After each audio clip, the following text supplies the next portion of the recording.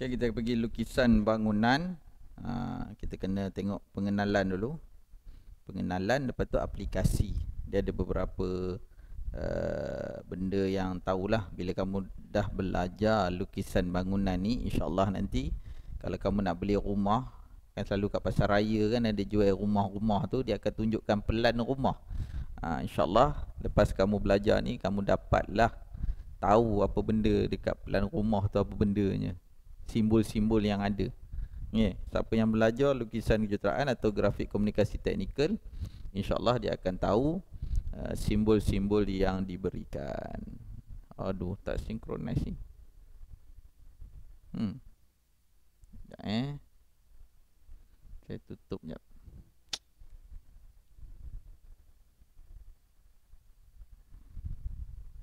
Masalah rumah kita rumah pula masalah sekolah kita ni internetnya macam ni lah.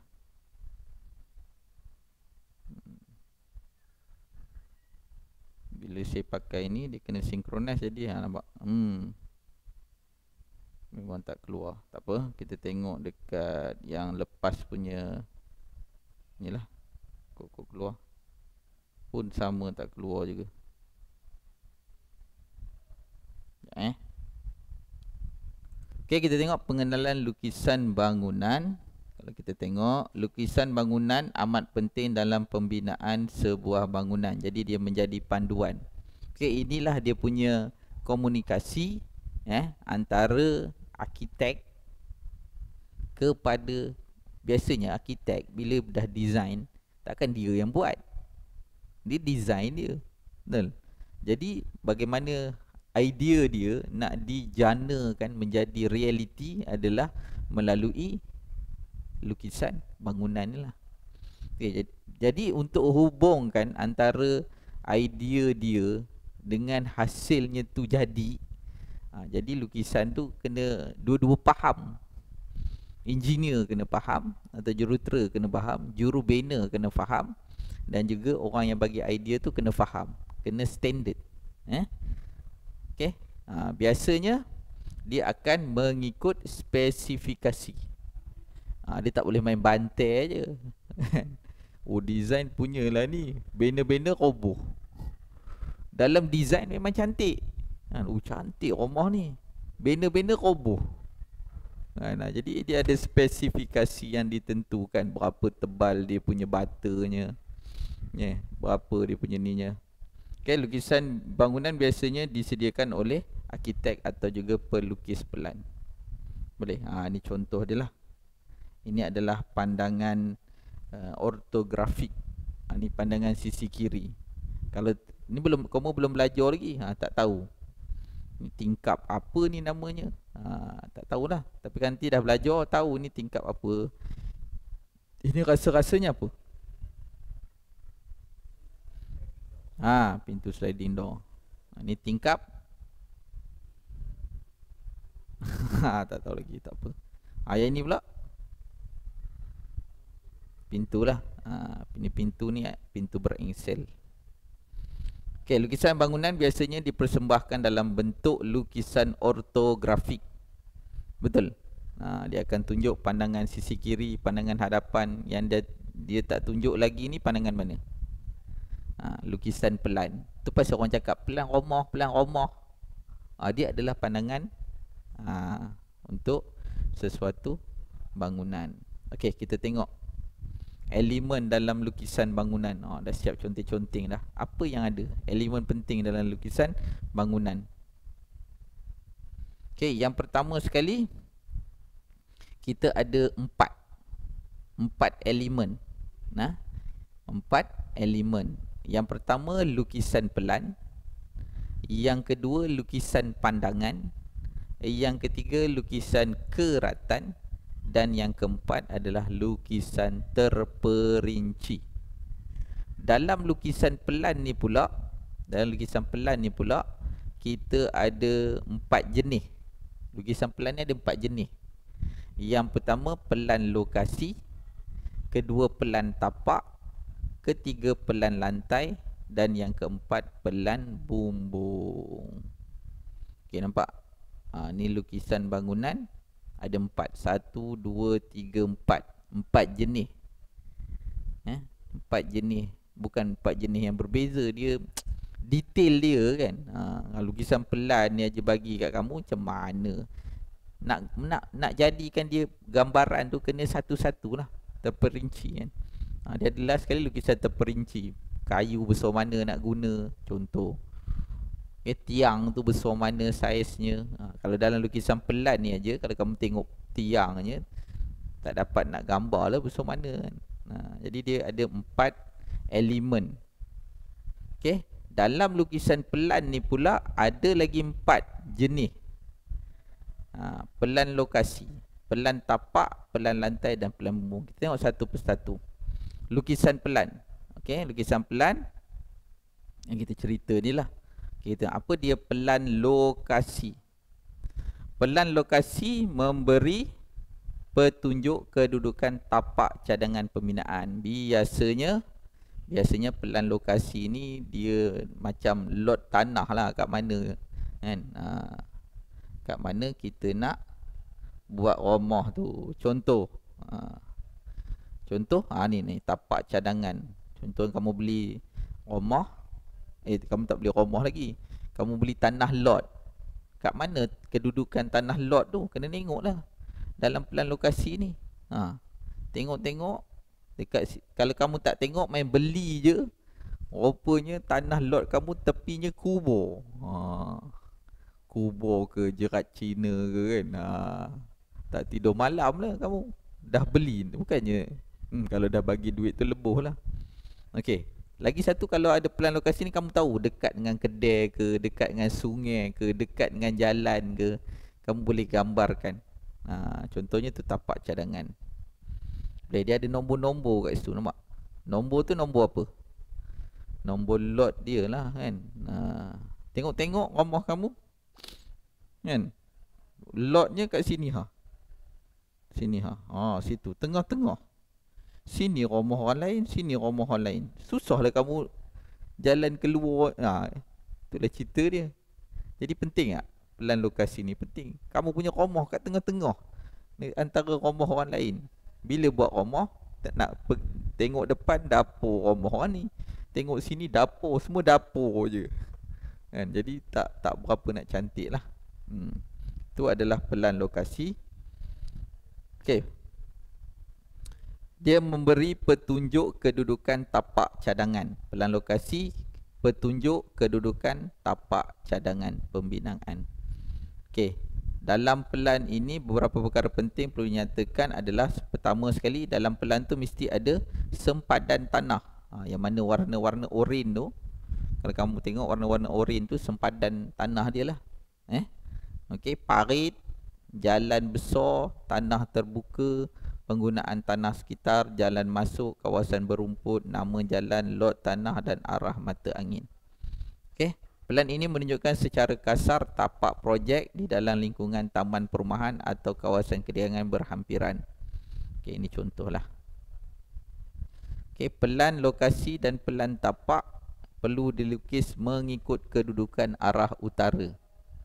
Ha, ni belajar dalam geografi dulu, tingkatan 3 dia belajar geografi kan. Ha, arah utara itu adalah pelan lokasi. Okey, yang ini pula adalah pelan tapak dikecilkan lagi, eh? Dikecilkan lagi.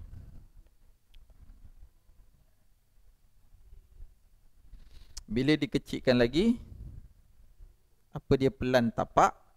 Pelan tapak merupakan pelan yang memberi perincian yang jelas memberi perincian jelas mengenai tapak bangunan yang dicadangkan macam tu. Okey, memberi perincian yang jelas mengenai tapak bangunan yang dicadangkan seperti rajah ni lah. Maklumat yang terkandung dalam pelan tapak termasuklah ha, apa yang ada. Pertama, dimensi. Dimensi tu apa dimensi? Dimensi tu ukuran lah. Eh, bila, bila dalam JKT ni bila sebut dimensi, ha, dimensi tu dia punya ukuran. Contohnya ni ha, 2973. Ha, dalam unit apa biasanya ni? 297392251 milimeter.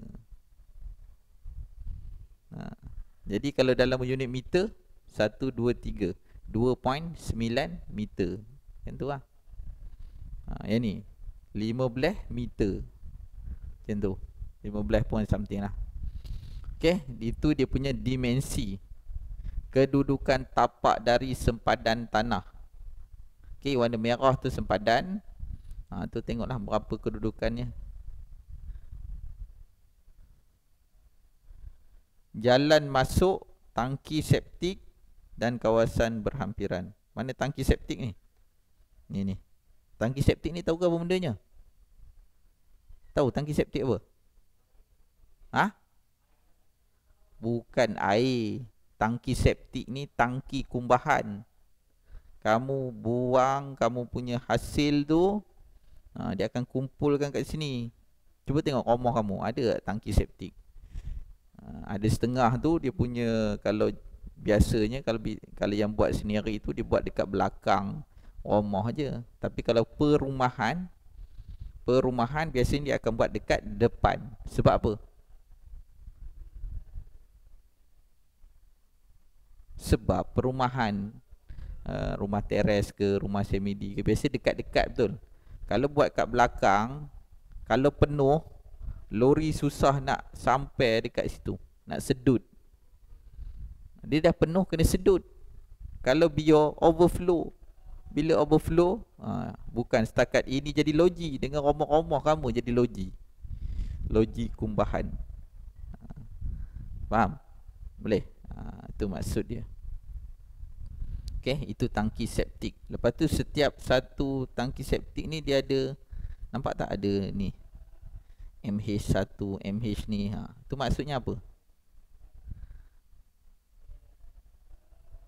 Ini untuk biasanya kalau katakanlah tersumbat Katakan kalau tak ada benda ni Kalau tersumbat susah Kalau ini dia buka ni ha, Dia boleh tahu kat mana tersumbat tu Maknanya settle Contohnya bahagian ni tersumbat kan Okay bahagian ni tersumbat ha. Kamu makan apa dah boleh tersumbat kat situ Sekejap, sekejap, tak dengar. Okey. Ha, katakan kamu tersumbat kat sini. Bayangkan tak ada yang benda ni. Ha, susah lah panjang ni. Buka aja ni. Boleh sedut ni. Sedut yang tersumbat ni. Keluar lah. Boleh. Ha. Okey. Ada soalan setakat ni? Okey, boleh. Itu pelan. Pelan apa? Pelan tapak. Seterusnya. pelan lantai. Jap. Tengah loading. Ah, okey. Inilah yang kamu akan lukis. Ya, yang kamu akan lukis adalah pelan lantai. Pelan lantai ialah lukisan berskala yang menunjukkan ukuran bangunan keseluruhan serta susunan atau grid bagi rujukan pembinaan dari pandangan atas ha, lukisan berskala ni kamu belajar dalam matematik tingkatan 3 ha, lukisan berskala tu maksudnya apa mudah ha. Ha, satu nisbah tu lah kan maksudnya apa dia ikut nisbah dia lukis takkan nak lukis sebesar ada pelan tapak dekat bukan ukuran sebenar lah ha, dia nak nak tahu ukuran sebenar kena darab berapa baru tahu ukuran sebenarnya. Ya, biasanya satu nisbah seratus. Ha ni. Kalau kamu kat kedai dia jual pembaris skala tu. Dia dah siap-siap lah. Okey, dia boleh dalam uh, bentuk satu nisbah lima puluh, satu nisbah seratus atau satu nisbah dua ratus. Bergantung. Okey, satah pemotongan ini biasanya berada satu meter lebih tinggi dari aras lantai. Maksudnya apa ni? Ini maksudnya uh, Rumah kamu Kata ini rumah kamu uh, Rumah kamu yang Biasa kamu lukis dalam Pendidikan seni itulah Kan kamu selalu lukis macam tu kan Kan tu ni dia punya tingkap Ini dia punya Rumah pintu tu ha. Kan kamu dulu lukis rumah-rumah pintu Okay bermaksud uh, keratan rentas ni dipotong 1 meter. Sap macam tu. Maknanya jarak ini ke sini 1 meter lebih kurang. Dipotong keratan rentas potong lepas tu angkat. Angkat buang yang bahagian atas. Jadi lepas itu kita tengok daripada pandangan atas. Ha, tengok kat situ. Jadilah yang kopi ni. Ha, itu maksud dia. Ha? Ha, dia, dia meletak lapik ni. Ha, okay. Tinggal, tinggal sapu sikit je situ. Penyapu dia lah. Ha, sapu sikit. Ha. okay. Boleh? Itu boleh eh? Ha, jadi kat sini ah ha, ini lain kamu nak kena lukis nanti. Ha, dekat bilik air nak kena letak apa? Ha, nampak? Ada dia punya ni nya. Okay, kita tengok itu satah pemotongan. Dia ada beberapa butiran.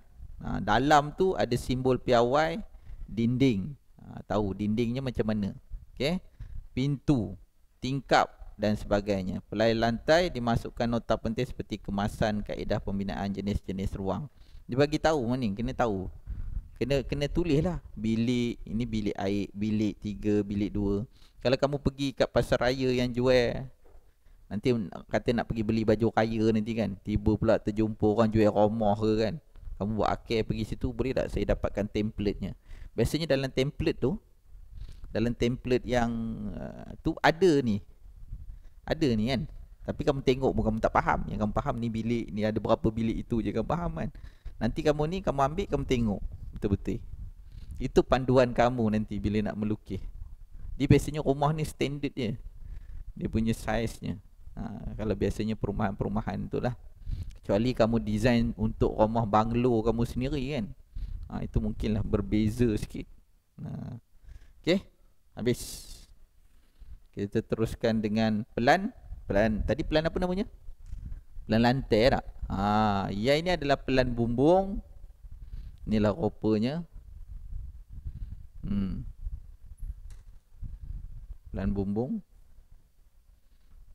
dia ada perabung, ada atap atap genting tu, atap genting.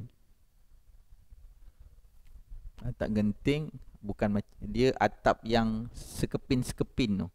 Kecil-kecil. Dia susun, dia berat. Ha, tu atap genting. Kalau macam kita punya bangunan blok ni bukan atap genting. Ha, nak tengok atap genting blok sana. Blok yang baru tu tengok atas ni. Ha, dia dia susunnya macam susun bata ya itu atap genting biasanya perumahan uh, yang baru sekarang ni kebanyakan semua atap genting lah okey uh. Dia ada kayu kasau lah semua dia cerita lah ni. Tak apa nanti kita belajar benda ni. Mula tahu dulu. Pelan bumbung menunjukkan reka bentuk bumbung dimensi kecerunan setiap bumbung dan kadar unjuran dan kedudukan rasuk pada pandangan atas. Ha, Lepas itu dia ada perabung. Mana perabung? Tu tu tu. Ha, Tu namanya perabung. Ni kena tahu ni. Nanti mana tahu keluar soalan tu Dia, dia buat macam ni tu letak A ha, Macam saya buat ni lah. Apa namanya? Ha, Jenuh kamu tak tahu namanya apa. Tapi kadang-kadang Bahasa kita ni nak Kalau kita tanya Tok nenek kita yang atas tu Kadang-kadang namanya lain. Nama standardnya perabung ah, Perabung kata orang. Eh perabung rumah aku tu tercabut. Ah, Benda ni biasa tercabut ni Perabung ni. Siapa nyabutnya Kera lah. Kera ni atas bumbung Cabut. Ha, Sebab dia letak je. Dia bukan simen Dia letak je perabung. Dia Sama macam Macam uh, Allah saya Muhammad. Macam apa tadi? Atap genting tu lah. Ha, cuma atap genting ya, saya lukis ya. Saya carikan kat sini lah. Senang bagi kamu nampak. Hmm. atap genting Okay, tengok atap genting. Ha ni apa atap genting? Buat tu. Ha, ha ni atap genting. Okey. Ha, kalau perabung perabung dia Ha ni ni perabung. Ha ni perabung. Disusun je kan. Ini letak je itu kan. Ha, monyet cukup suka situ lah. Main je. kat, kat taman saya tu banyak juga monyet. Ini selalu dicabutnya. Ada setengah orang di simennya jangan bagi nak cabut. Di simennya benda tu. Nah, main demo ah. Selalu bocor pun ah. Punca ah nampak ni ah. Kadang-kadang bocor pun kat situ dia masalahnya. Oh dah cerita pasal bocor pula. Ha, tapi tak apalah. Mana tahu ha, situ masalah bocornya. Hmm? hmm biasanya rumah-rumah gitulah nampak tu. Itu nampak dia punya perabung yang ni. Ha, bagi faham sikit. Besok kamu bila bapak kamu ke cakap pasal ni faham dah ya tak? Ha, okey. Kita teruskan. Perabung. Lurah. Tahu lurah? Ha, okey. Dia bahaya juga nak type ni kan lain punya lurah keluar orang. Dia lurah ni bulan-bulan puasa ni kan. Ha, bahaya type dekat anu ni. Dia uh, Allah saya Muhammad, dia yang itu dia macam dia ngam, dia macam ni eh. Kalau uh, perabung kalau perabung saya lukis eh. Kalau perabung dia mencantumkan yang puncak ni. Mencantumkan yang itu. Okey, untuk lurah dia mencantumkan yang sini. Dia ada kolong macam longkang sikit. Ah ha, itu namanya lurah. Faham? Dia ada kolong. Macam ni lah. Macam ni. Antara, antara, antara Allah saya Muhammad. Antara bumbung dengan bumbung tu ha, kan dia macam tu. Palung tu kan. Antara bumbung dengan bumbung tu. Kalau dekat atas, yang atas kita letak perabung. Yang bawah dia ada zin dia dia macam longkang lah. Ha, faham? Tu lurah. Ha, lagi? Itu je lah. Atap konkrit. Ha. Lepas tu kita ada saluran air. Ada setengah yang letak dekat ujung ujung bumbung tu kan dia macam longkang tu. Ha, itu saluran air lah. Ha. Dan ada pipe turun. Itu cerun. Okay, boleh? Okay? Ha. Habis Habis tang bumbung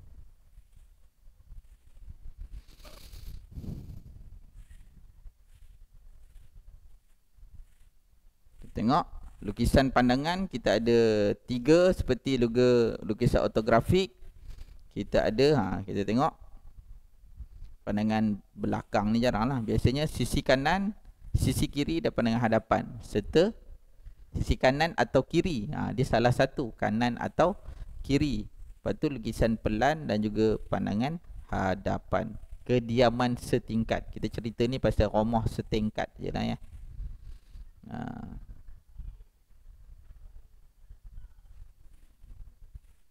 Ha, ini adalah lukisan keratan. Lukisan keratan ni dia lebih detail. Lebih detail. Nampak dia punya ni nampak tu ha? Aras bumbung. Aras lantai. Ha, dia kalau yang tadi pelan lantai dia keratnya melentang. Betul? Keratnya melintang yang ni keratnya me menegak. Nampak tu? hmm, boleh nampak itu. Ha, nampak dengan dalam tanah tu orang cakap piling piling tu kan? Ha, ini dia nya nampak ni? Sebelum bina rumah kan dikorek dulu lubang Lepas tu dia letak uh, besi Lepas tu boleh letak simen ha, Barulah kukuh rumah kamu. Kalau tidak Letak aja atas tu Tiup di angin ha, Beralih rumah kamu. Balik-balik tinggi batu je. Ha. Udah Bina kemah lah situ.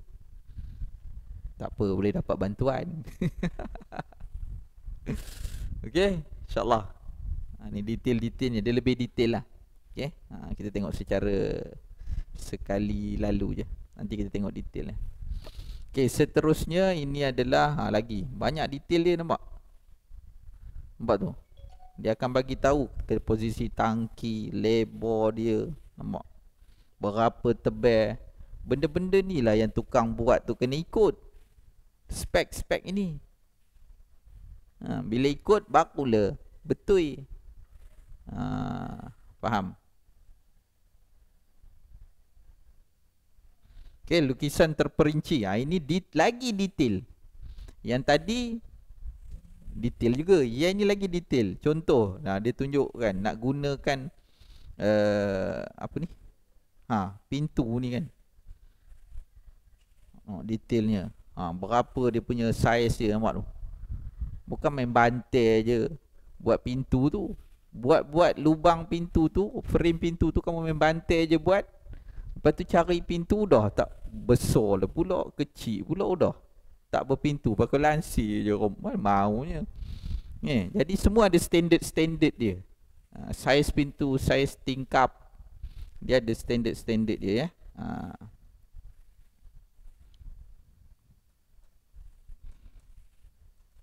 Okay. Uh. Lepas itu baru kita pergi. Oh, banyak lukis ni. Ni dah rakam ni. Ha, simbol piawai. Yang ni kamu kena tengok lah. Kena te, kena tengok macam mana nak lukis. Macam mana nak lukis.